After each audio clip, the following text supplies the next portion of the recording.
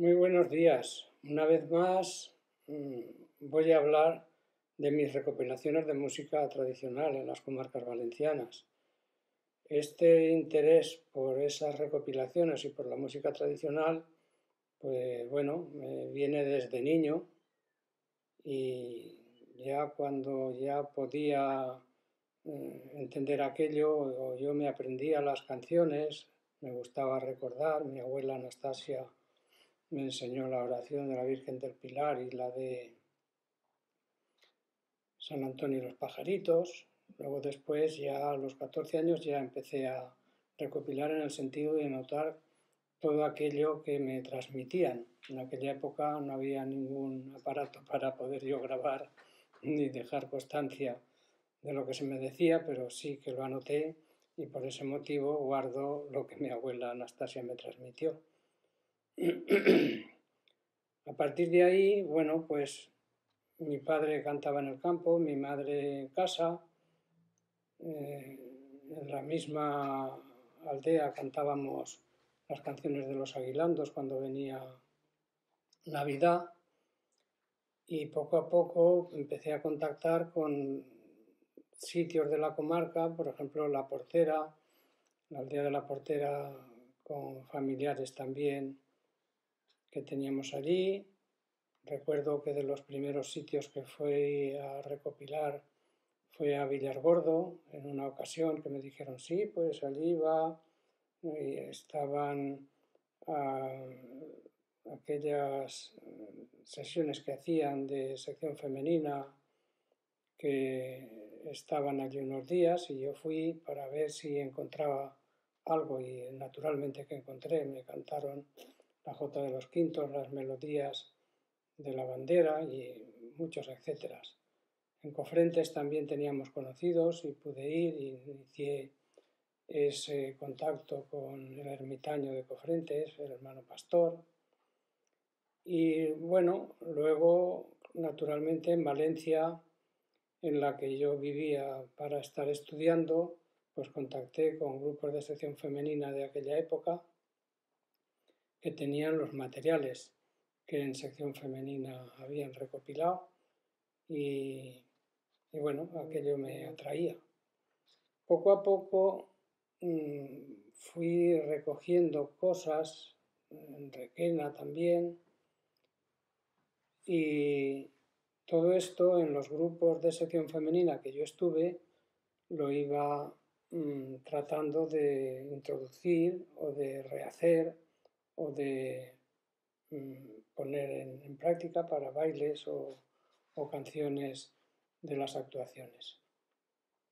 En 1975 yo ya conocía las publicaciones de María Teresa Oller que había hecho por los años 50 con unos equipos de recopilación que habían hecho. Contacté con María Teresa, que muy amablemente me recibió en su casa y tuve esa suerte de que en aquel momento le habían concedido a Salvador Seguí, que era el director del Conservatorio de Valencia en aquel momento, una beca de la Fundación Mar para hacer recopilación en las provincias de Castellón y Valencia y bueno, entramos en el equipo Sebastián Garrido y yo con la condición de que nosotros recopilábamos pero no transcribíamos porque no sabíamos. Se nos admitió tan amablemente y bueno, empezamos esa tarea y fue lo más importante para mí en aquella época.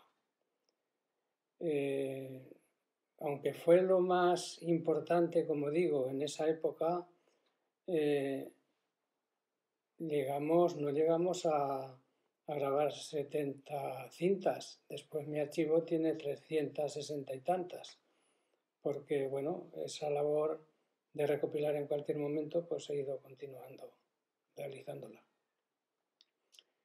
Eh, en 1975 estábamos en el equipo María Teresa Oller y Salvador Seguí, Sebastián Garrido y yo, y Ricardo Pitar. Ricardo Pitar era de la Val de Usó, vivía en la Val de Usó y recopilaba las comarcas de la provincia de Castellón. Salvador Seguí también algo, y María Teresa y nosotros en, las comarcas de la provincia de Valencia, que Salvador también intervenía. En todo este trabajo se fue aplazando, se fue continuando hasta 1979 y en 1980 apareció el cancionero de la provincia de Valencia, el de Castellón se publicó después. En 1983, junto con Rosa Julia Cañada Solaz de, Fuentes Robles, mm, conseguimos una beca del Ministerio de Cultura para hacer una recopilación más profunda en la comarca de Requena. Y también salió ahí mucho material. Tanto de la recopilación con la Fundación MAR como con la, de la beca del Ministerio de Cultura, eh, fuimos aportando materiales para los repertorios en principio de Alimara, luego después del grupo de estudios folclóricos Jarais que se fundó en La Portera en 1975 y con esto pues inició esa labor de mm, recuperar toda esa cantidad de materiales que se iban almacenando en las recopilaciones.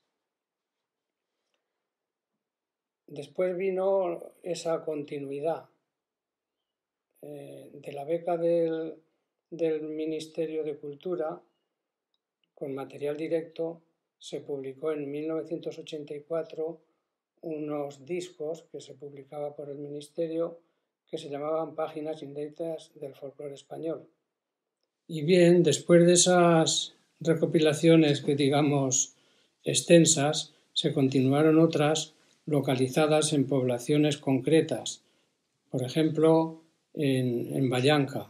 Contacté, conocí a Alicia Monleón, que fue muy importante para ella y para mí, porque en Vallanca yo tenía recopilaciones de los años 76 o por ahí, pero bueno, unas recopilaciones mm, que estaban como estaban, pero nos hizo ilusión el reproducir aquellos cantos tan hermosos, con lo cual fue una nueva recopilación en Vallanca, muy interesante, salió material interesantísimo y con esto se publicó un disco rehaciendo o reinterpretando esas canciones que se habían transmitido y se publicó en, en dos discos.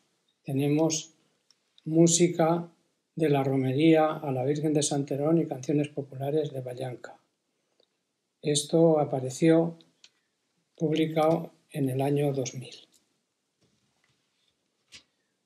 Después continuamos también recopilando en la provincia de Alicante, en Benimantell, que allí ya teníamos el vídeo y se, puso, se pudo recoger el baile, aparte de las canciones. También en Callosa de Ensarriá, que fue muy interesante la recopilación y en la ciudad de Alicante, en el barrio de San Gabriel, y algunas de las partidas. El trabajo en Alicante también fue muy fructífero y muy interesante, porque bueno, esto dio como fruto la publicación de, de un disco Alacant Alacant, música tradicional, que esto se hizo en el grupo de restauración de Valencia vamos, con miembros de, esta agrupación. Y eh, la publicación fue bastante posterior a la grabación, porque no había medios en aquel momento. Se grabó en 1997 y 98, a principios del 98 se hicieron las grabaciones y se publicó en 2004. Después también en 2004 contactó, mm, contactaron de Vétera conmigo porque les había interesado, se habían interesado por la partitura de una J de Vétera que estaba en el archivo de sección femenina. Y bueno, yo de Vétera no tenía más que un Salvaes no había más.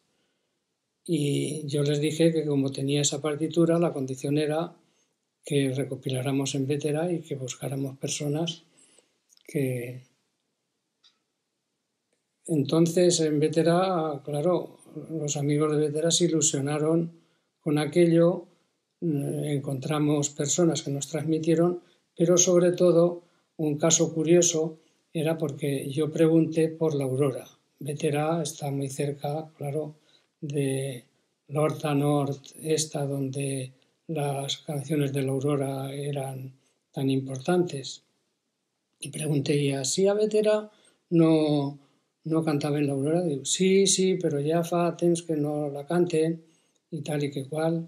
Y no podrían transmitirnos, bueno, pues no sé, veurem sí, no, si la gent que canta a l'església, les cançons de, de Quaresma, les cançons dels gotxos, bueno, bueno, bé, bé. Però al final hi havia un home que tenia gravades totes les cançons de l'Aurora, senceres, i en una gravació molt digna. Per tant, l'aportació fou molt interessant i a partir d'ahir, pues bueno, saps començar i se publicà el primer disco que, bueno, està així, la música popular i la festa d'un poble, Vétera. Ahí es veu en la imatge pues, en les alfàbegues, pels carrers de, de Vétera. Però en tota la quantitat de el cançoner profà i religiós que fou també pues, en dos discos, el mateix que se feu a Vallanca. Després continuarem perquè eh, en una associació cultural que se formà a partir d'ahir, que se deia l'Aljama, era un grup de ball i cants, i se plantejaren fer una recopilació general en el Camp de Túria, en tota la comarca, i inclús en poblacions que havien sigut traslladades, com el cas de Domenyo, o el cas de, de Benaixeve. I, bueno, un altre, un altre treball de restauració, vamos, de restauració, de reinterpretació de tot allò i alguns materials directes i aparegué una altra, una altra publicació, en este cas també en dos CDs, La memòria dels sentiments, el camp de Túria. Això aparegué l'últim en 2009. En 2005 també se publica un altre, un altre disco, este que nos, salíamos del territorio, nos fuimos a la provincia de Cuenca, a la serranía, de Cuenca, en plena serranía, al pueblo de Campillos de Paravientos. En Campillos de Paravientos fue también muy ilusionante poder recuperar las músicas, un tipo de canción muy propio de las tierras estas de la serranía de Cuenca, y bueno, una serie de, de cantos propios de aquellas tierras y que tampoco conocidos son, seguidillas alpargateras muy hermosas, las jotas en ese estilo propio de la sierra con los ijijis estos que hacían cuando cantaban el pasacalle y bueno, toda una serie de canciones interesantes que lo hicimos también con mucha ilusión. Eh, esto se publicó con el nombre de Recordamos y se publicó en 2005. Y finalmente, mm, algo semejante ocurrió en Alcublas. En Alcublas contactamos también con gente de Alcublas y, bueno, empezamos con ese material que yo tenía. Ay, pues es ilusionante, pero puede salir más porque sí, porque allí, porque tal y porque cual. Y entonces, al cabo de, o sea, se hizo una recopilación a lo largo de dos años En Vetera había sido más larga, porque de la publicación de una a la otra prácticamente acabamos la recopilación en Vetera en 2011. En Alcublas se empieza en el 2016 y se publica el libro con sus dos discos en 2018.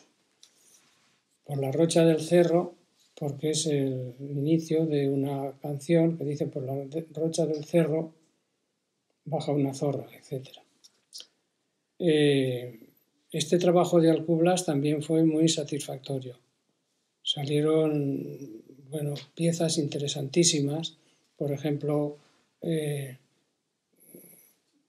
estilos de Louis II y Louis XII para el campo, con una gracia extraordinaria, y luego, pues bueno, los estilos de J. Fandango y Seguidillas, y muchas canciones que estaban, bueno, más o menos en la memoria, pero que se les dio vida y, se publicaron dentro de este libro y, y, sus discos. Y bien, el archivo sonoro dentro del archivo municipal de Requena es realmente muy consulta. Nunca pensábamos que iba a ser tanto. El archivo histórico de la ciudad, por supuesto, tampoco pensábamos que tanta gente entraría a investigar el archivo, lo que digamos, histórico de la ciudad y el territorio. Eh, es muy visitado y se están haciendo muchas investigaciones y estudios y lo mismo ocurre con el archivo sonoro de muchas agrupaciones o de gente que quiere publicar o simplemente que quieren mm, rehacer o reinterpretar canciones de sus pueblos, acuden y normalmente, claro, hablan con el archivero, les dice pues pasar los días que eh, y con el horario marcado y pasan y pueden oírlo. Si quieren llevarse una copia, pues eh, se lo dicen a quien hizo la, la digitalización y se les pasa y lo reutilizan.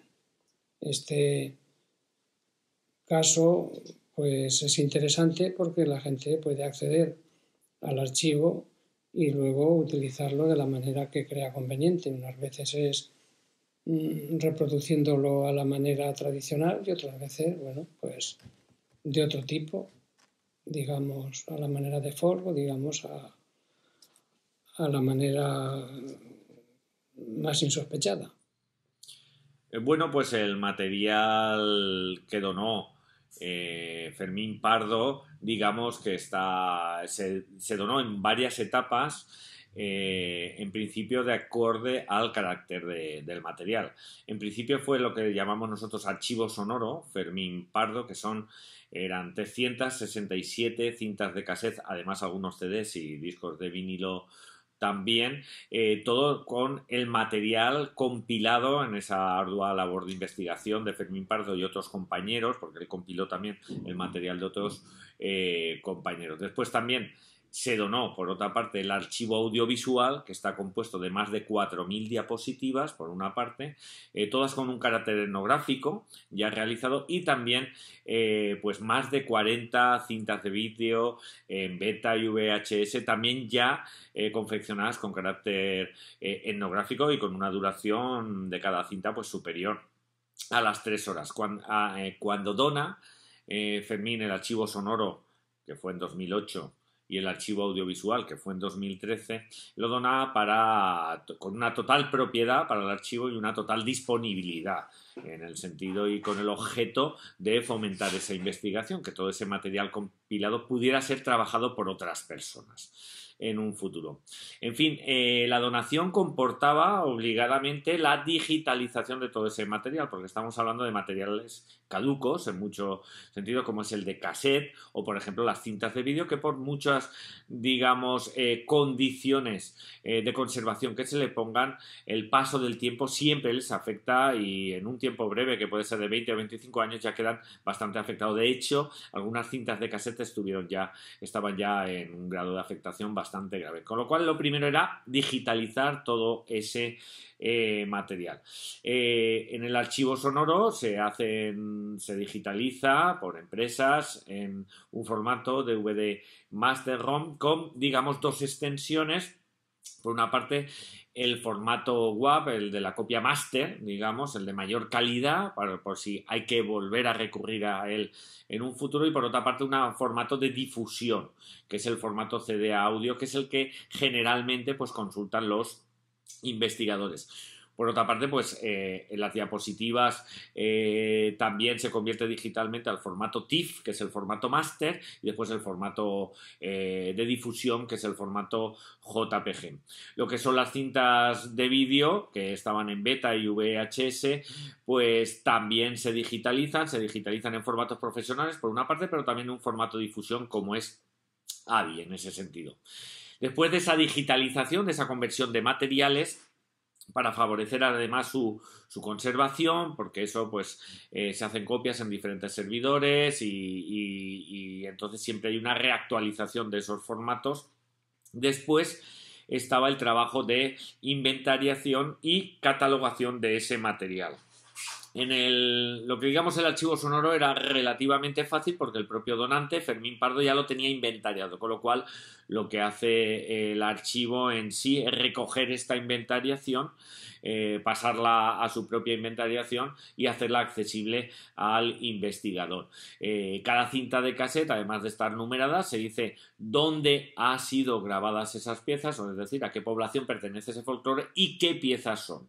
En ese sentido, digamos que, por ejemplo, en 367 eh, cintas de cassette calculamos que hay más de 11.000 piezas musicales descritas, pero que ya habían sido previamente descritas por el propio donante. Después, con las consultas, pues hemos ido afinando esa descripción eh, con el propio Fermín Pardo.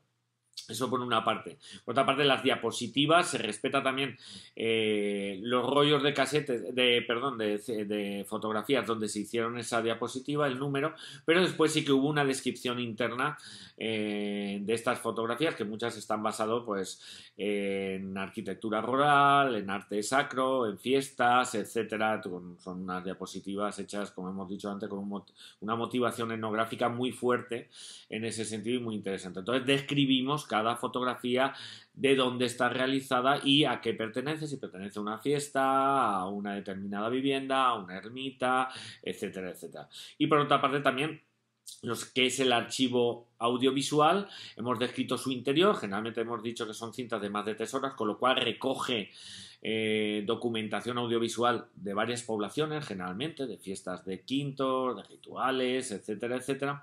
Y entonces describimos cada cinta lo que tiene, dónde se ha realizado y al minutaje y al segundo dónde están todos los diferentes cortes para facilitar la tarea al investigador. Todo este material, como hemos dicho, se clasifica se cataloga y después, además, con esa clasificación y catalogación, la ponemos en la web para que sea accesible al investigador.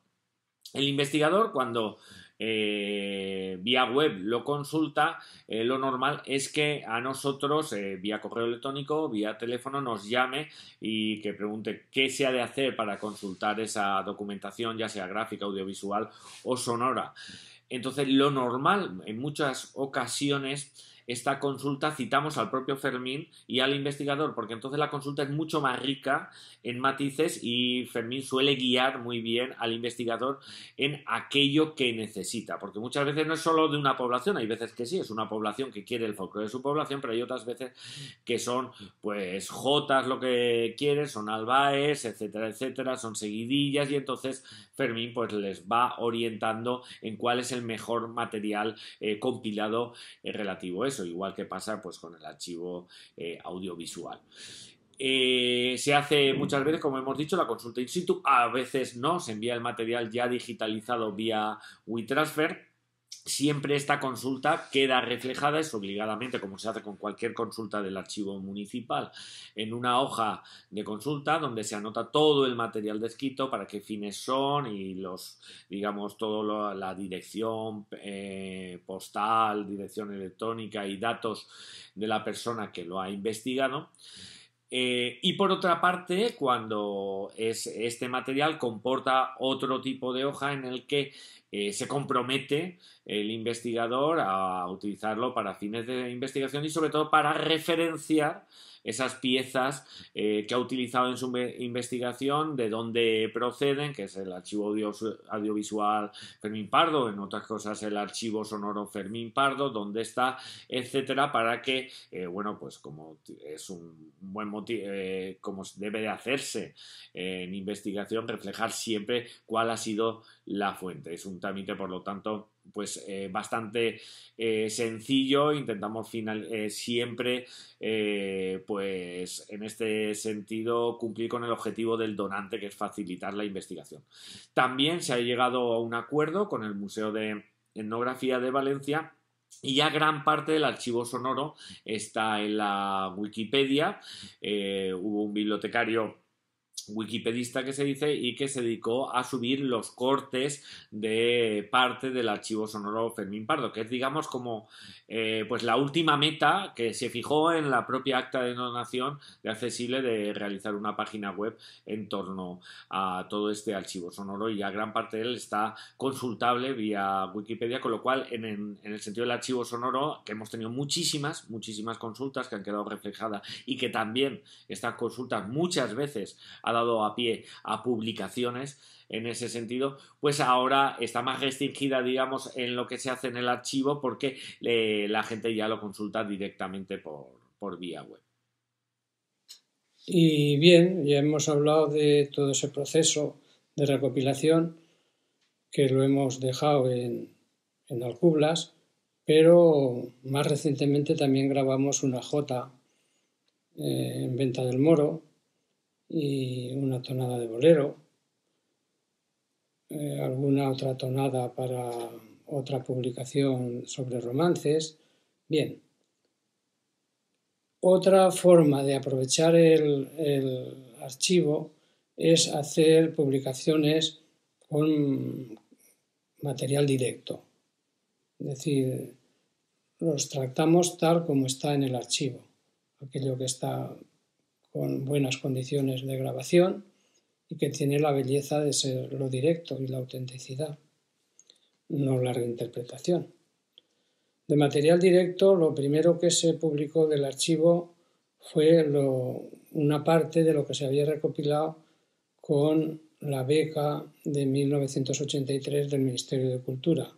Se publicó, ya he nombrado antes, unos discos eh, que se titulaban Páginas inéditas del folclore español, que esto apareció en 1984. Después, mm, el archivo, el archivo municipal de Requena, donde está depositado mi archivo sonoro y audiovisual, pues está a cargo de Nacho Latorre, un archivero excepcional, un buen amigo, que naturalmente se interesó por lo que había grabado de su pueblo. Y entonces pudimos publicar La voz de la tierra, este disco tan interesante en el que, bueno, aparece pues ese sentimiento de los venturreños y de las aldeas de esta, de esta villa tenemos estas fotografías que sí son interesantes por las personas que nos transmitieron y aquí una postura de un hombre bailando la jota y yo tocando la guitarra y marcando a la manera que, bueno, de interpretar nuestra jota.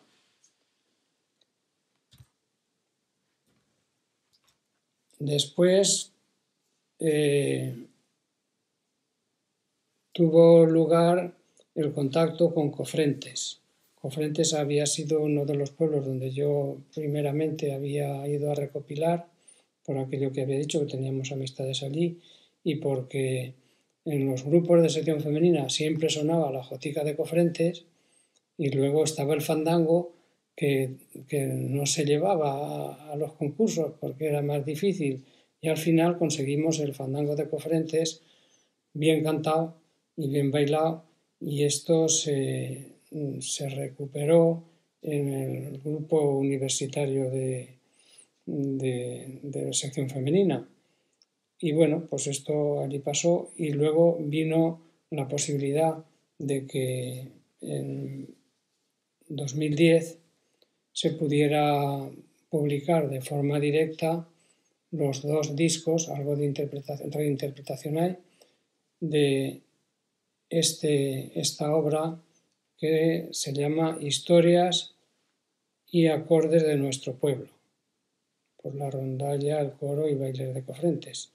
Y bueno, también fue importante para Cofrentes, si lo es, y para mí con muchísima satisfacción. Otro, mm, otra parte del archivo que para mí también era muy, muy entrañable y muy bien sentido era la correspondiente a mm, la olla de Buñol, pero fundamentalmente Macastre, Yátova y Alborache. Eh, el Centro de Estudios Comarcales de la olla de Buñol Chiva, en el tercer Congreso de Estudios de la Comarca, pues mm, me pidió una participación en este congreso y naturalmente fue mi idea el aportar los recopilados de música tradicional en esta comarca, porque de esta comarca no había salido nunca nada publicado. Yo recuerdo de que en sección femenina se llevó el villancico de Cheste, sí que habían ido con la J de Cheste, pero los recopilados en Chiva no, o sea que en sección femenina había muy poca cosa pero en la recopilación del 75-76 se recopiló mucho y después también volvimos posteriormente ya con vídeos a contactar con la Tepe Pica de Macastre, que era una mujer que tenía mm, la especialidad de saber de todo. Ella cantaba religioso, cantaba profano, cantaba alegre, cantaba triste, bailaba la jota de maravilla, y bueno, aquello fue, bueno, para mí entrañabilísimo el recopilarlo y poderlo publicar. Se adjuntó la publicación a, las actas del Congreso y con el título La música popular en la olla de, de Buñol. También es una publicación muy interesante.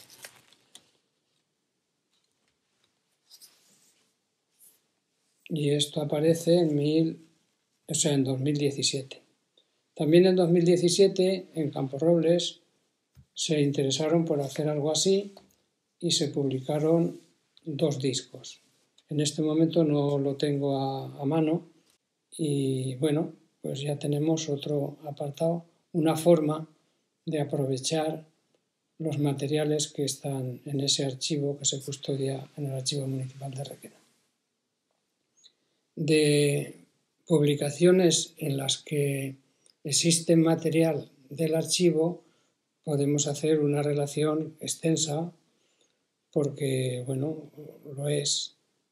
Ya he dicho que los primeros materiales que se utilizaron en grupo de, de, de danzas de la época, a partir del 75 fue Alimara y el grupo de estudios folclóricos Jaraiz. Entonces, dentro de Alimara, el primer disco que publicó Alimara y que tuve yo la satisfacción de que estuviera a mi cargo, porque fue mm, una experiencia extraordinaria en aquella época de juventud en que tanta ilusión hacía poder tener una grabación en un disco, pues tuve la ocasión mm, de hacerlo. Y bueno, preparamos el material toda la perfección posible. Los músicos y cantadores que formábamos el grupo Alimar en aquel momento, con aquella ilusión tan grande, teníamos que ir a Barcelona en aquella época a grabarlo salimos una mañana para estar allí por la tarde, dormir y al día siguiente todo el día en la grabación y en las mezclas y todo. Eh, fue un, un récord eso de estar grabando todo el día y tenerlo acabado por la noche, a las 10 de la noche, con mezclas y todo, ya mm, para poderlo publicar. Fue aquel disco que se llamó, que se llama y Dances del País Valencià y que apareció publicado en 1978. Es el disco de la naranja, ese primer disco de Alimara y mi primer disco, por supuesto, para mí tan entrañable. Después hubo problemas en Alimara, eh, yo preparé el segundo disco mm, y a mitad de esa preparación pues me dejé Alimara pero bueno, allí quedaron canciones mías y reinterpretaciones mías también en el disco Cançons del Pla y de la Montaña, que se publicó en 1980. Por aquel tiempo, en el Villar del Arzobispo estaba el grupo Ajebo, que era un grupo también mm, muy con mucha vitalidad en aquel momento y que reinterpretaban música y baile de la Serranía del Turia y del Rincón de Ademuz. Con ellos colaboramos los del grupo de estudios folclóricos Jaraiz, con intercambios y con ayudas unos y otros, y se publicó un disco mmm, titulado Serranía 1, que se publicó en 1981. Este disco bueno, pues fue un, pues un vinilo, como los primeros que estamos nombrando, que luego se extractaron también materiales para otra publicación posterior que se publicó más tarde, claro. A continuación del disco de, de Ajebo, en el disco de Alimar, Ales Noses, también me pidieron material y aportamos material para esa publicación. Y esto, la publicación mmm, tuvo lugar en 1982. El grupo a de Lorat Penat, también en 1982, también solicitó materiales para reproducir en unos discos que se hicieron, también muy interesantes, por esta agrupación y esto, como digo, en ese mismo año, 1982.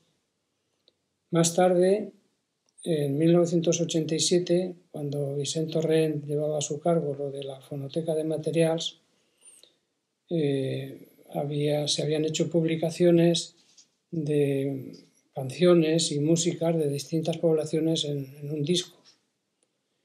Y en aquel momento, bueno, pues hablando con Vicente Torrent, yo le propuse el decir, puedes hacer alguna monografía de una población o de una comarca concreta por tener un todo. Ay, pero tú conocerías en algún sitio, digo, naturalmente que Titaguas. Titaguas yo habíamos estado recopilando María Teresa Oller, José Ángel Jesús María y yo en tiempo, en los años 70, pero bueno, sabía que para la fonoteca de material era muy interesante esa, esa posible publicación. Y, efectivamente se hizo una grabación extensísima y en 1987 apareció la monografía de Titaguas dentro de la fonoteca de materiales. En 1988 se publicó eh, en la Alcudia el voz de la posta. En aquella ocasión, ay, es que volíem eh, que mos deixares material, si tu tindràs material, que volem fer una publicació, ah, pues sí, però en la condició de que m'heu de preparar persones que no només teniu el bolero i no només teniu les valencianetes i hi haurà més coses, ai, pues no sé, pues ja veurem, pues... i efectivament, al final, unes dones ja d'edat estiguérem una vesprà pues, tres hores, eren tres dones, i aparegué el bolero curtet i una sèrie de romansos i de cançons molt interessants de l'Alcúdia i bueno, pues, bueno de l'Alcúdia i de la Contornar. Y se publica ahí, en 1988, el Voz de la Post. En 2010, al so del so de, del grup Esbarrechats de Alacant també demanaren material i bueno, pues de lo que s'havia recopilat en, en Callosa i no sé si en algun lloc més s'endugueren material que després ho han reinterpretat molt bé. El grup del Forcat, en 2014, bueno, no vos he mostrat, aquest sí que el tinc a mà, el de El so dels barrejats al so del so, que és este, esta publicació molt, molt interessant. El del Forcat també vingueren a demanar material i d'este material se se hizo la reproducción de este disco, el Forcat. Y bueno, pues canciones que se han reinterpretado y que están ahí publicadas. Y lo último de estas aportaciones a publicaciones de reinterpretaciones nuevas es este de Primavera de mmm, Mm, el grupo al aire y que interpretaron o reinterpretaron música tradicional de la Serranía del Turia. Este es el último que hemos aportado material. Y seguimos, eh, en este caso, hablando de libros y de artículos que se han publicado partiendo de toda esa recopilación general que nos fue dando tantos conocimientos de la música tradicional valenciana y que, bueno, fue una continuación de, de tantos recopiladores que habían empezado a finales del siglo XIX, que luego después se prolongaron en, las épocas anteriores a la guerra civil, que fueron también publicaciones interesantes. Después de la guerra civil, otros trabajos de recopilación de Alfonso el Magnánimo eh, y otras recopilaciones más particulares. Y las recopilaciones de sección femenina, que de alguna manera conservaron los bailes bailes tradicionales, acomodados a la manera que entonces tenían de hacer, pero que enlazaron y sirvieron como eslabón para las agrupaciones actuales existentes. Eh, dentro de, de, esas publicaciones grandes de libros está el cancionero musical de la provincia de Valencia, que se publicó en 1980, que le llamaban el libro gordo de Petete, porque eh, en aquella época estaba el libro gordo de Petete por ahí, que no era esto, ya recordarán los que tienen alguna edad de aquello. Y bueno, aquí hay mucho material de mi recopilación, como también lo hay de los demás mm, que recopilamos juntos pero que, bueno, fue una obra pues también interesante y de materiales que, bueno, algunos estaban publicados, pero muchos no, porque había comarcas que no se había recopilado prácticamente hasta la época de sección femenina y tampoco cantidad como la que se extrajo en la recopilación de la Fundación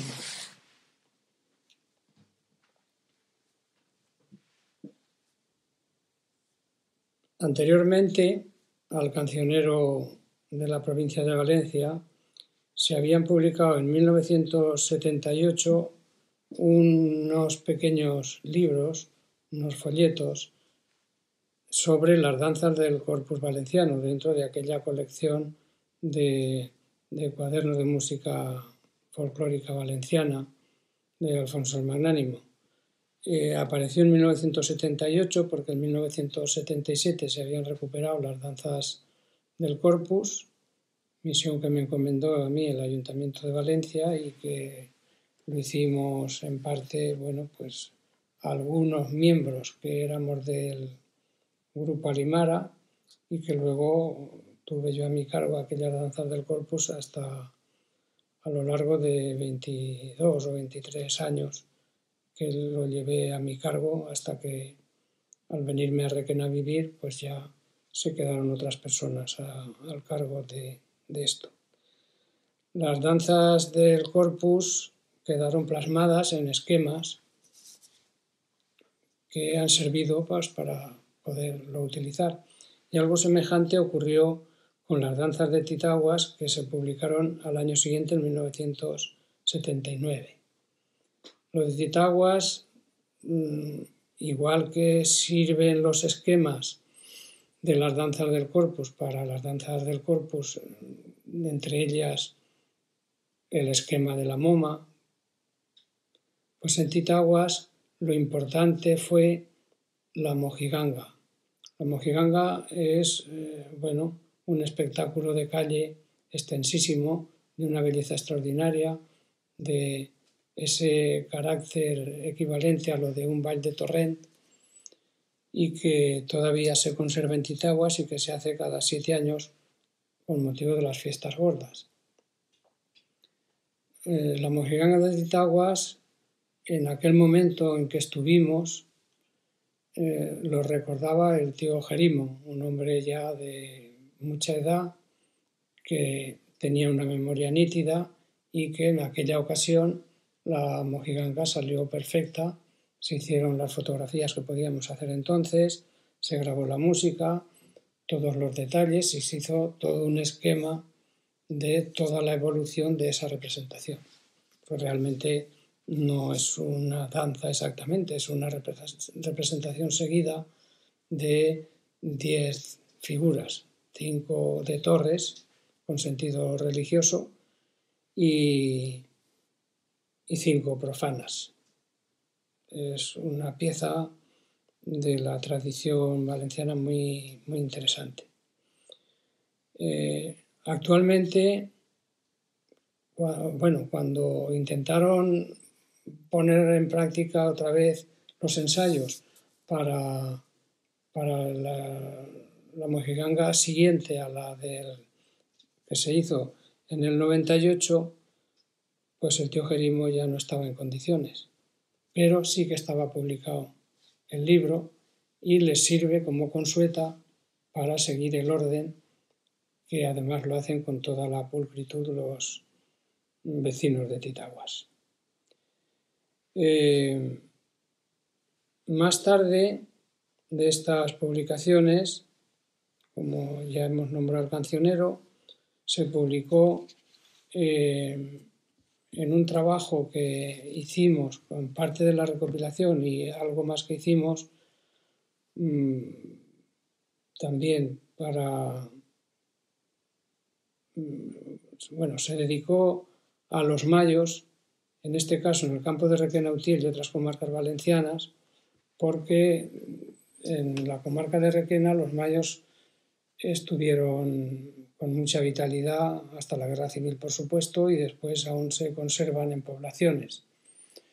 Y en otras comarcas valencianas también había mayos. Por lo tanto, se le dio este título, intervenimos ahí María Teresa Oller y, yo como autores, María Teresa la música y yo toda la cuestión enológica de los mayos y los textos. Y, y esto se publicó por el Centro de Estudios Requenenses Mm, que se ofreció, vamos, para esta publicación muy interesante con las partituras y el análisis musical que hizo María Teresa Oller, los textos completos o fragmentados los que estaban fragmentados, pero que bueno, también fue una aportación muy interesante.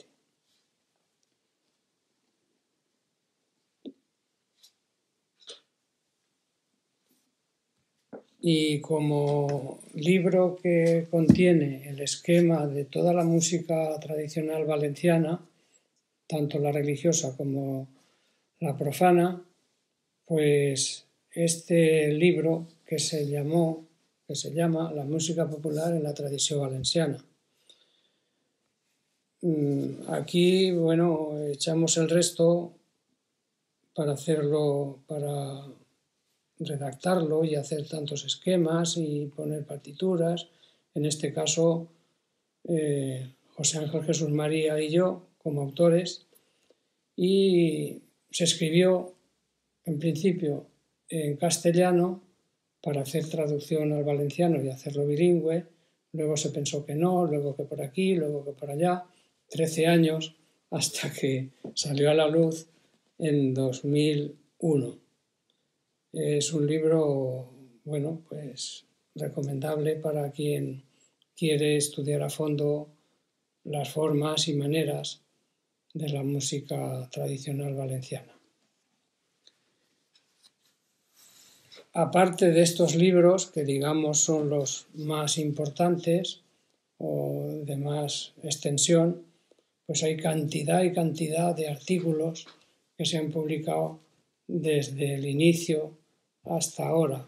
Un ejemplo tengo aquí, bueno, en un libro de fallas de las fallas de Utiel, que en Utiel también hay fallas, pues en 2009 me pidieron una colaboración y les hice eh, los romances y canciones romanceadas de la literatura tradicional de Utiel. Y como este ejemplo hay montones y montones y montones de artículos, aquí, allá, más allá, el último congreso que estuvimos sobre la Jota fue precisamente en Cataluña. La Jota en les terres de parla catalana. Y allí que fuimos con nuestro artículo, con nuestros vídeos, a mostrar las formas de bailar y de cantar la Jota en las tierras valencianas. Y bueno, todos estos trabajos que se han ido haciendo, que siguen haciéndose, no solo quedan en los que hicimos ese trabajo, sino esa herencia que hemos ido dejando en esta gente joven que siempre están a mi alrededor, que tanto estimo y que tan bellamente reinterpretan y pueden reinterpretar tanto los bailes en los vídeos, utilizar las fotografías existentes en toda esa colección que se ha hecho, mm, tocar y cantar las melodías y las canciones de los bailes y las danzas. Y bueno, con esa con ese futuro que yo le veo a que esta gente joven siga. Y bueno, y otros estudios de más profundidad como pueden ser análisis musicológicos y, de interés. Y bueno, sobre la recopilación de, de mi comarca, pues no había prácticamente nada recopilado nunca. En sección femenina había la partitura, las partituras, mm, el archivo de, provincial de sección femenina de Valencia estaba la partitura del bolero, del tío Narciso, de las seguidillas floreadas, de una jota, todo de Requena, las danzas de moros y cristianos de San Antonio, de Requena, del Campo Arcís, de San Juan, y de la comarca, pues un mayo de Fuenterrobles y algunos villancicos.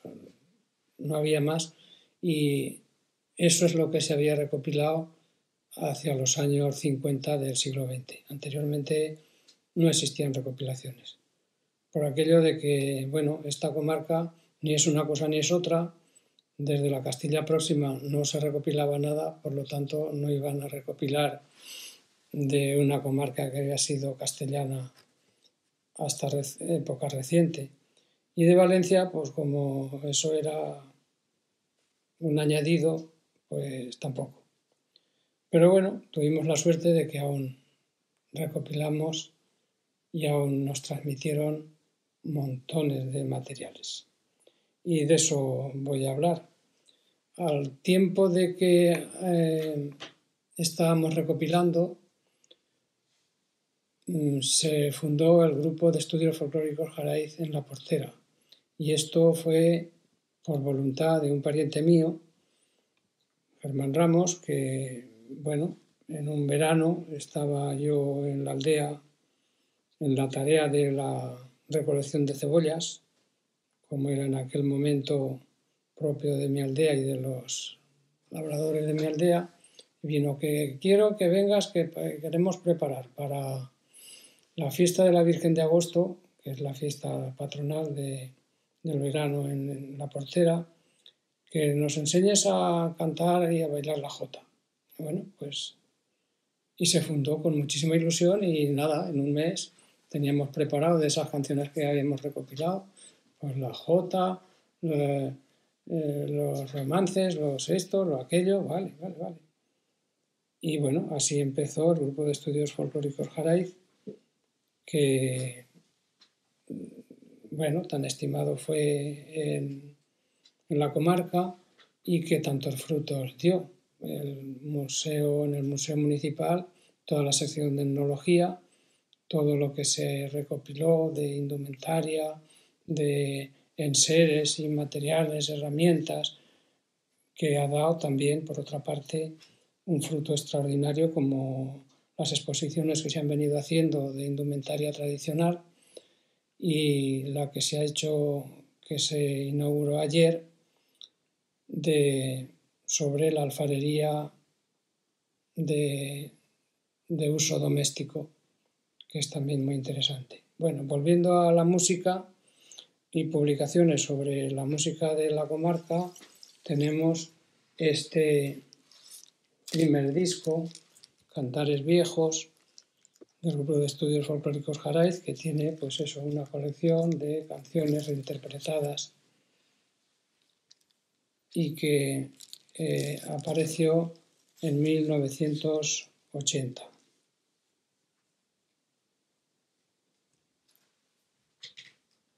Posteriormente, mm, habíamos hecho en la recopilación también la comarca del Valle de Ayora. Y en el Valle de Ayora es donde se marca la diferencia del territorio que queda al sur y que queda al norte del Júcar, precisamente.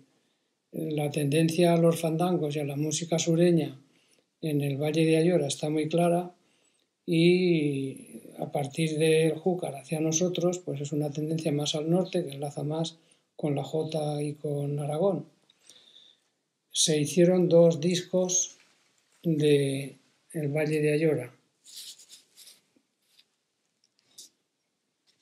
Aquel otro disco llevaba una orla de un, de un bordado de un refajo y este pues también de otro refajo son publicaciones interesantes que después, bueno, materiales que se han reproducido mucho en los grupos de danzas. Por ejemplo, el fandango de Ayora, que está en todos los grupos de danzas, el fandango de cortes de payas, que se ha dejado de bailar, y cuestiones de estas que funcionan por ahí en los folclores actuales. Posteriormente ya se dedicó a, la comarca de Requena-Utiel, el campo de Requena-Utiel, que también lleva dos discos y bueno, tiene una colección interesante de material reproducido.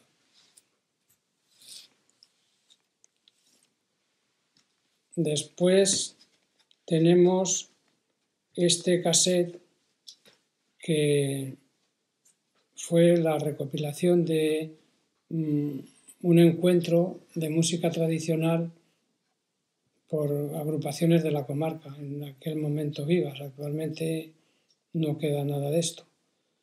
pero bueno, aquí estuvieron representados pues todos los municipios de, de la comarca y es interesante por ese contenido de ser una actuación que se grabó y está de la actuación directa a la publicación.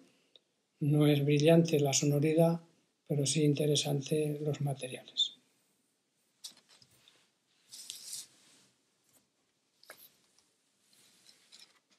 A partir de, de esta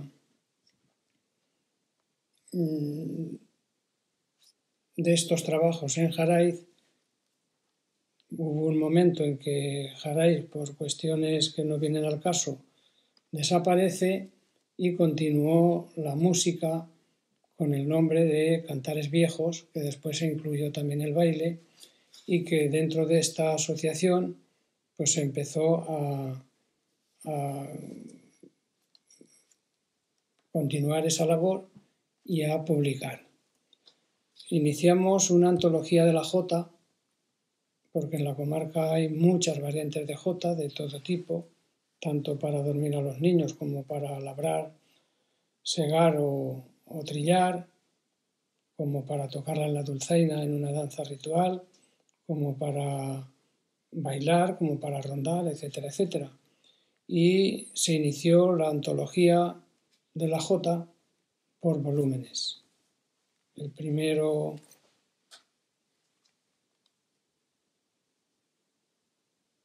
Bueno, no recuerdo la fecha, es igual, porque no la tengo anotada, pero tenemos el volumen 1, que es todos los tipos de J o, mm, que se pueden encontrar, como decía, desde una nana hasta una música de J con acordeón, música de J de dulzaina, cantos para trabajos, cantos para bailar, cantos para rondar. Eh, el segundo volumen está dedicado a las jotas de quintos. Jotas de quintos, algunas con música de, viento, como es muy propio de los pueblos valencianos, y en otras simplemente pues con rondallado, con acordeón.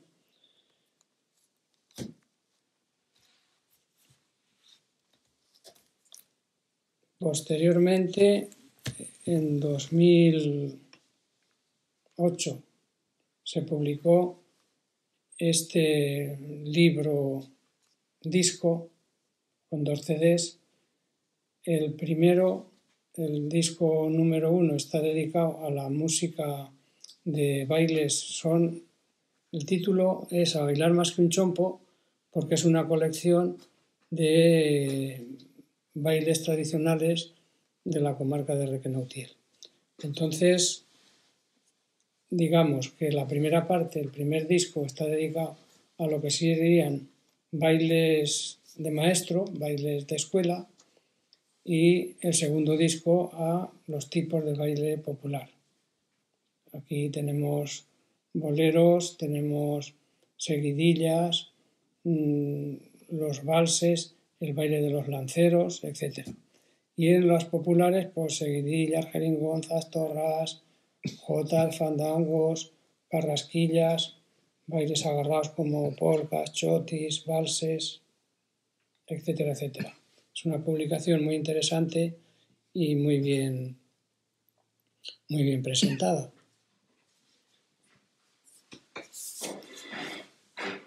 A continuación, después de Bailar más que un chompo, tenemos un libro de contenido religioso dedicado a la Nuestra Señora de la Soterraña, la antigua patrona de Requena, a la que Cantares Viejos le tiene un cariño especial y que de alguna manera sus danzas y todos los rituales mm, de música y de canciones están a cargo de miembros de la Asociación Cantares Viejos.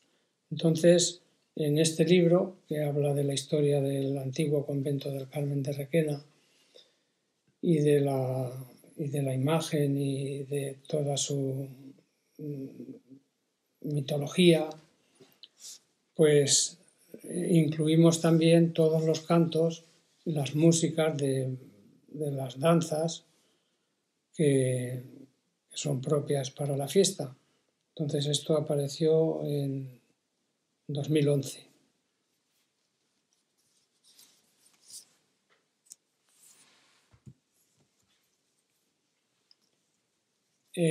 Con motivo de un congreso de historia comarcal y relacionado con el vino, se publicó este disco dedicado, pone aquí, como veis, rulés y otros cantos de siega, de beber vino y de reunión.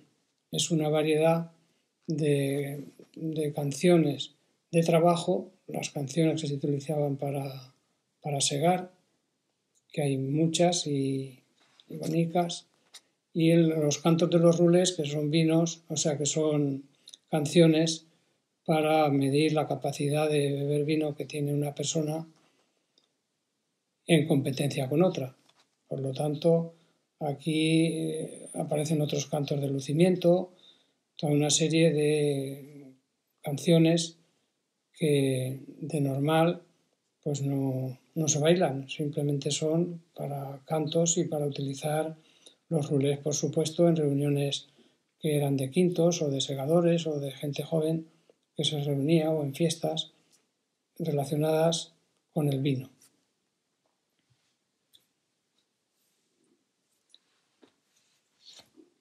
Siguiendo la antología de la Jota, tenemos el tercer número de la antología de la Jota, que está dedicada como monografía a la aldea despoblada de Villar de Olmos. En el año 75 contactamos con gente de Villar de Olmos que ya se había, había abandonado la aldea y que vivían en Requena.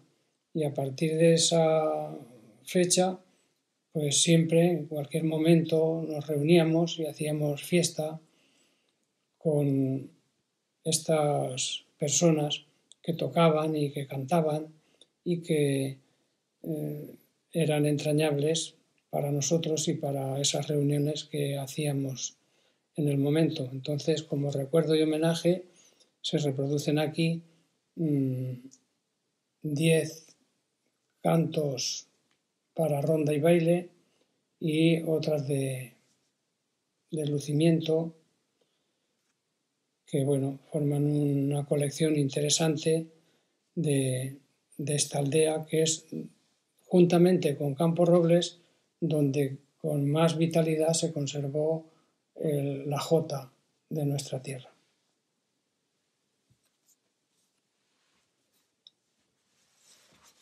Y finalmente, la última publicación recientemente presentada es un romancero familiar de transmisión oral en las aldeas de Hortunas y La Portera.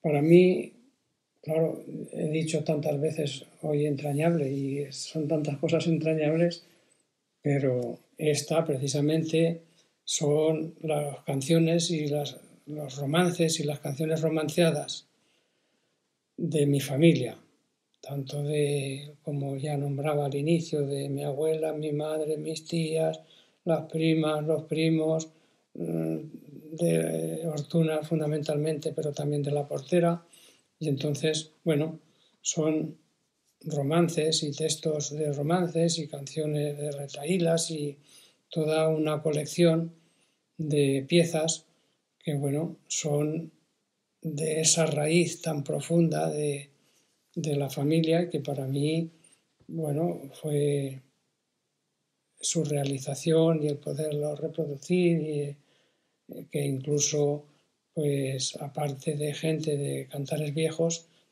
está como intérprete mi sobrina, continuadora de alguna manera de la forma de cantar que tenía mi madre. Como otros aprovechamientos interesantes de todo lo que hay aquí y para el futuro, pues pienso que estudios musicológicos sí serían interesantes hay, siempre me llama a mí la atención mm, cuando aparecen en un territorio concreto un tipo de, jotas o de cantos propios de esa zona que no se dan en otras zonas del territorio. porque, por ejemplo, hay un tipo de jotas de muchas frases musicales variadas que se dan en un espacio que podemos mm, tener entre o, marcar entre Chulilla, si acaso Domeño, sí, Domeño, Chulilla, Vilamarchán, en todo ese territorio del Turia y desde Chera hasta Alcublas y hasta, hasta Gátova, incluso pasando un poco a la provincia de Castellón, mm, que se da en ese territorio. De todas las recopilaciones y de esos vídeos y de lo que nos fueron transmitiendo las personas, hemos aprendido mm, cosas para reinterpretar que yo recuerdo cuando era joven y en los grupos de sección femenina no existían. Eh, en Villar de Olmos, curiosamente, el tío Hilario eh, sabía perfectamente los diferentes toques que se hacían para la jota. Él utilizaba tres, tres afinaciones concretas y tres afinaciones de postura que esto, bueno, yo lo capté perfectamente y yo lo reinterpretaba como los toques de las seguidillas alpargateras o las torras y que los jóvenes de cantares viejos lo saben interpretar perfectamente.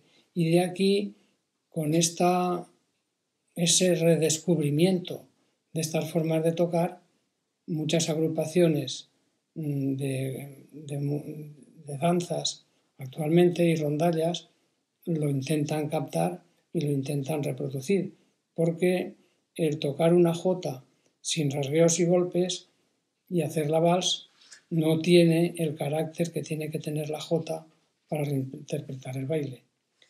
Y además de la jota también existen otros toques de rasgueos y golpes que bueno, le dan ese carácter popular eh, arcaico.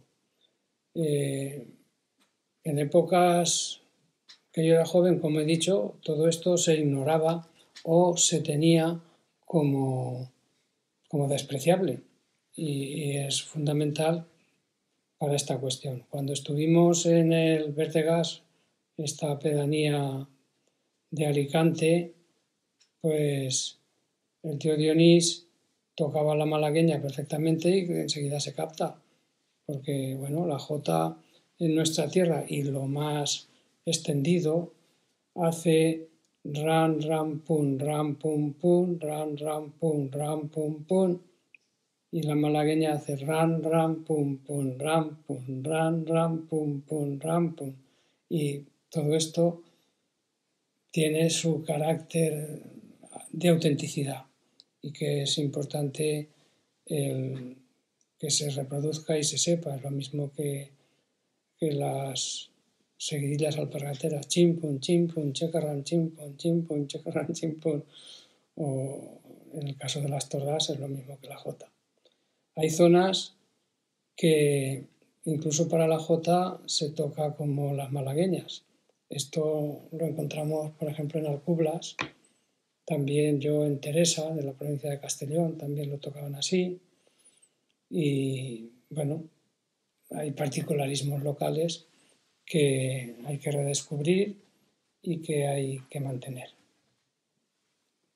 Y bien, en el aspecto práctico ya os había anunciado pues aquellos toques que el titulario de Villar de Olmos nos hizo, como los típicos antiguos del territorio y que se dan pues, prácticamente en todo el territorio estatal para tocar la jota o en algunos casos para tocar otros toques.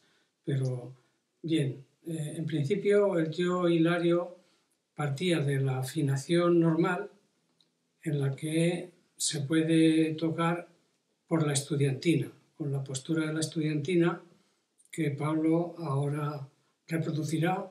Yo ya no tengo facilidad para ello y como Pablo lo ha aprendido muy bien y lo toca muy bien, pues lo hace Pablo y así damos esa muestra por una parte, de continuidad, desde Tilar y a mí, de mí a Pablo, y, y bueno, pues de, de autenticidad.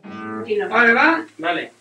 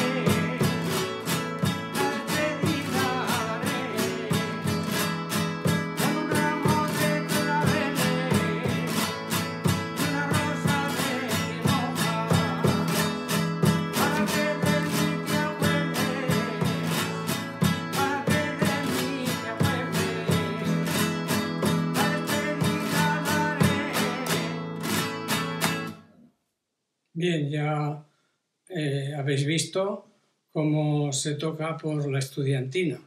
Corresponde a la mayor esa postura y en esa misma postura eh, existe otro tipo de afinación que en este caso, pues bueno, Pablo ya ha preparado la guitarra para templarla de esta manera, que es distinta y que eh, el Cuenta tú lo de las notas, cómo suenan. Sí, la segunda cuerda, en vez de sonar en sí, pues está afinada en do.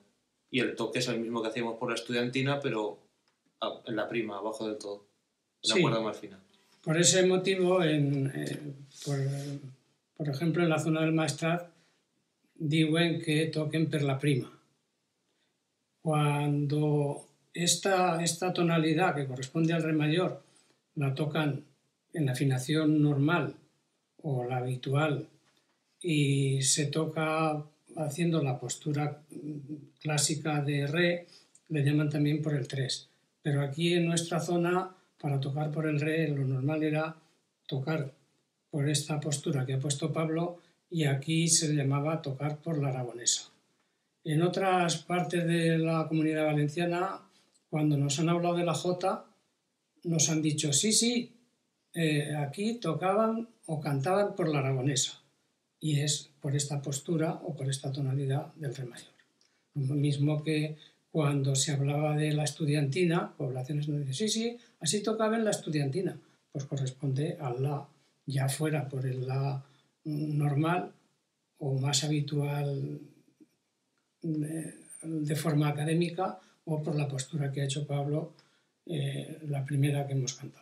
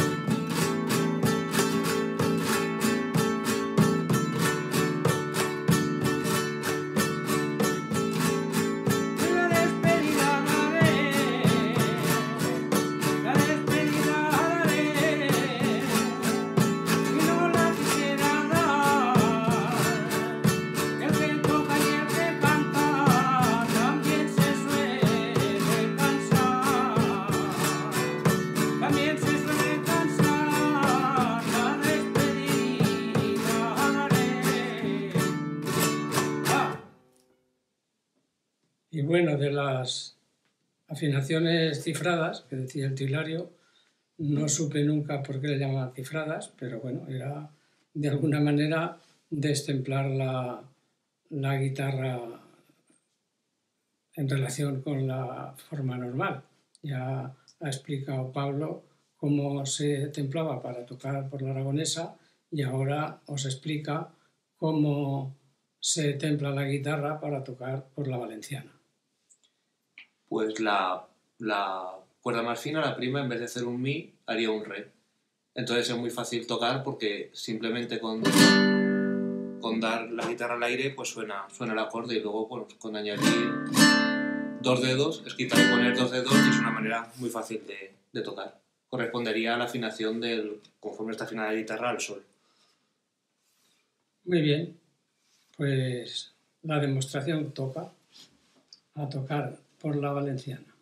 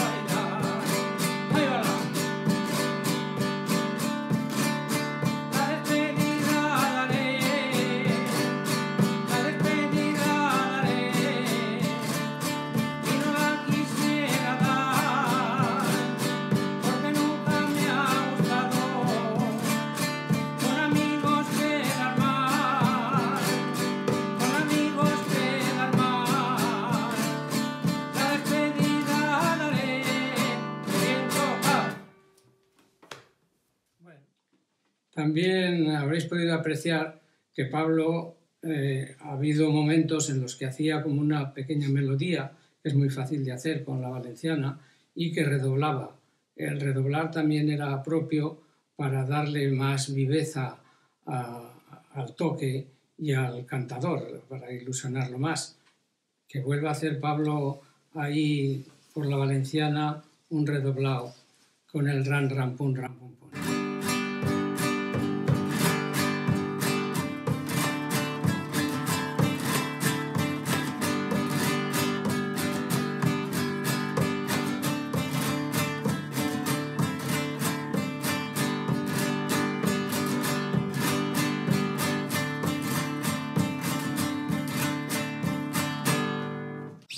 bien, pues ese es el redoblado de nuestra J diferente a los otros toques.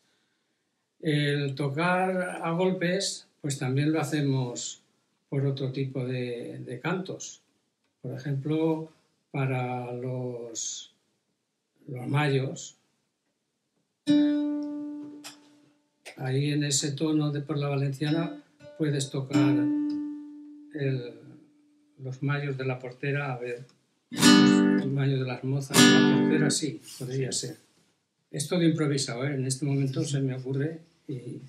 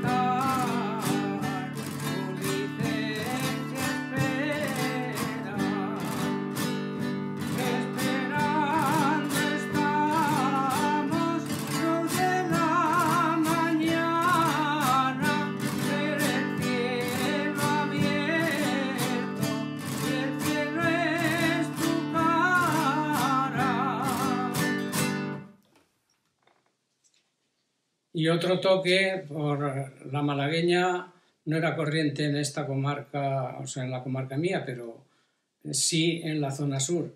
Y la onomatopeya ya la habíamos comentado. Ran, ran, pum, pum, ran, pum, ran, ran, pum, pum, ran, pum, que también se da en algunas zonas de, en algunas poblaciones para tocar la jota. Por ejemplo, Alcublas es un ejemplo concreto. En Teresa de, la provincia de Castellón también tocaban de esa manera y bueno, pues en algunos otros sitios más que viene bien cuando se enlaza con el fandango engarzado a la jota, que también suele emplearse esa forma de tocar, ese, con ese rasgueo, los dos rasgueos y los dos golpeos, un rasgueo y un golpeo. Vamos a probar y cantamos una malagueña.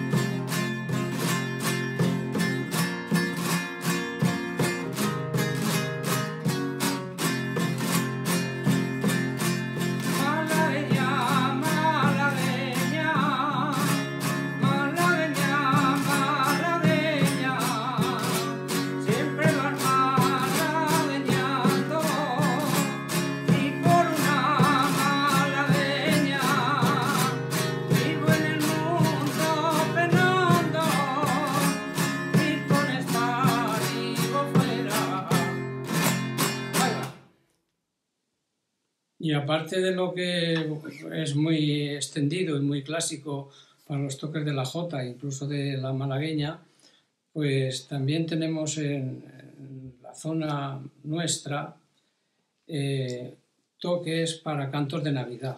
Tenemos uno que se toca para el solo es una, que es un canto mm, engarzado, engarzado, que va ahora lo veréis, lo interpretaré y luego algún tipo de romance navideño también, eh, por ejemplo el de eh, El Naranjel, el romance del Naranjel en su versión recopilada en las casas de Moya.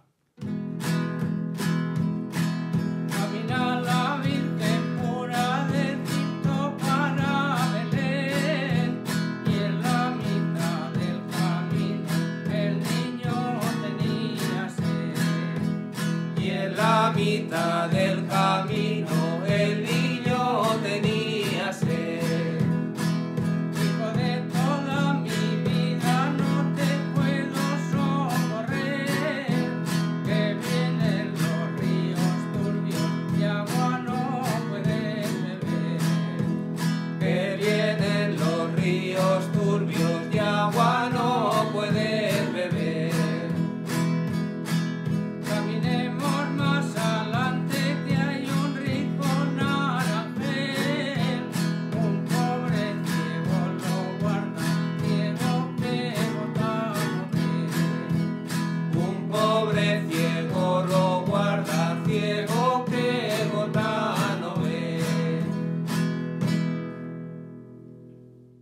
Y como final a, estos toques golpeados y rasgueados antiguos, pues voy a tratar de reproducir yo eh, el toque para las seguidillas alpargateras. No sonará muy bien la guitarra porque mis dedos ya no funcionan bien, pero eh, más o menos es como se me transmitió.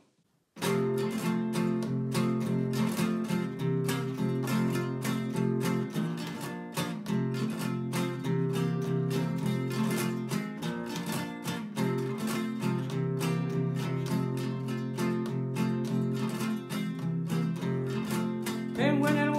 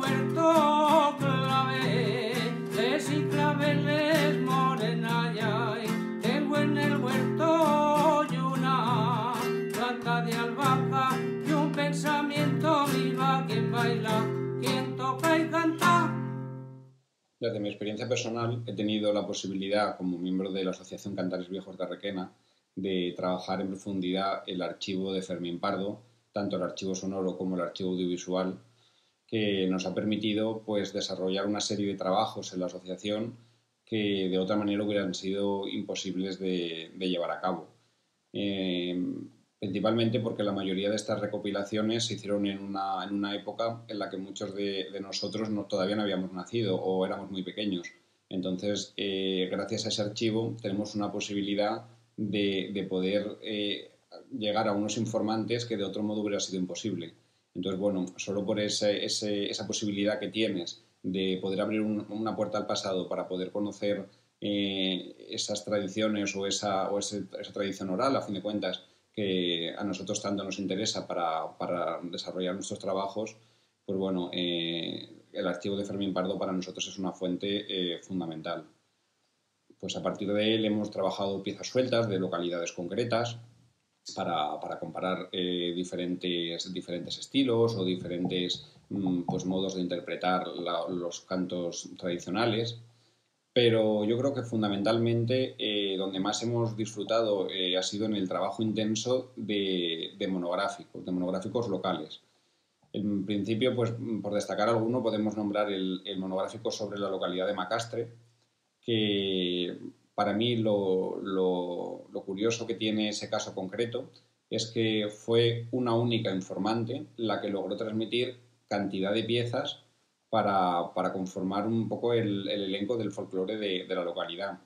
Esa informante fue la tía Pepica, la castañera, que le decían de apodo, y pues esta mujer eh, fue capaz de transmitirle a Fermín pues cuatro estilos diferentes de jotas de baile, eh, la ronda, el canto de, las valencianas de, los quintos, mmm, una mazurca, eh, distintos cantos. Pues también, por ejemplo, el contrafactum sobre, sobre el famoso cuplé del Tápame, que ella pues a principios del siglo XX le cambió la letra y la adaptó con personajes locales y con situaciones del momento. Pues también otro ejemplo. Y entonces, bueno, pues eh, como, una sola informante logró transmitir todo ese patrimonio inmaterial de la localidad, es un, es un caso que a nosotros nos llamó la atención desde el principio y que además nos permitió la posibilidad de, trabajarlo en profundidad porque había mucha cantidad de material, no solo en el archivo sonoro, sino en el audiovisual. Gracias a las grabaciones que realizó José Ángel Jesús María y que están depositadas en el archivo de Fermín Pardo, pues pudimos también ver eh, las mudanzas del baile que la tía Pepica eh, desarrollaba en las jotas.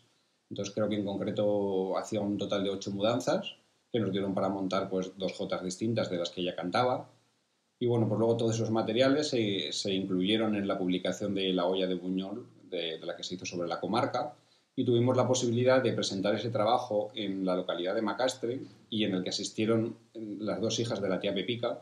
Y, bueno, pudimos eh, interpretar por un lado los cantos que, que ella transmitió y, y, por otro eh, bailar con, con, las mudanzas que ella también transmitió y están depositadas en ese archivo a través de, de las grabaciones que se hicieron en su momento.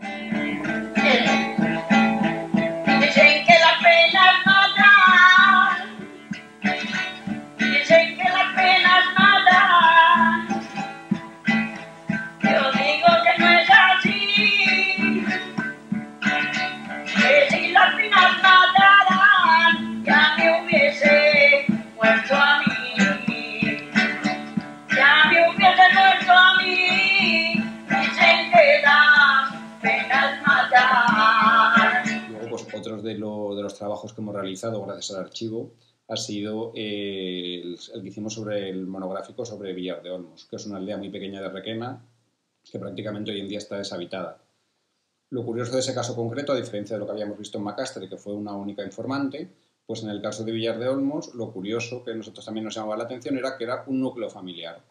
Entre ellos, entre los informantes, pues eran padres, hijos, hermanos o tíos, y era como un, pequeño núcleo familiar, conservó prácticamente hasta finales del siglo XX eh, esa manera popular de, interpretar la jota o los diferentes cantos, los cantos de Navidad, eh, bailes populares como el baile del torero.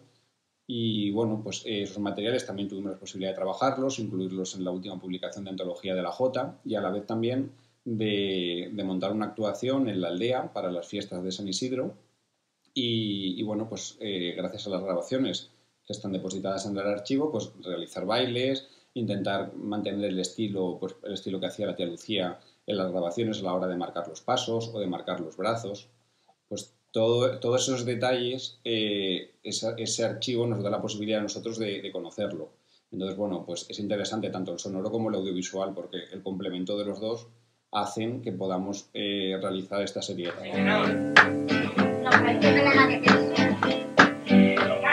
A ver, a ver, a ver las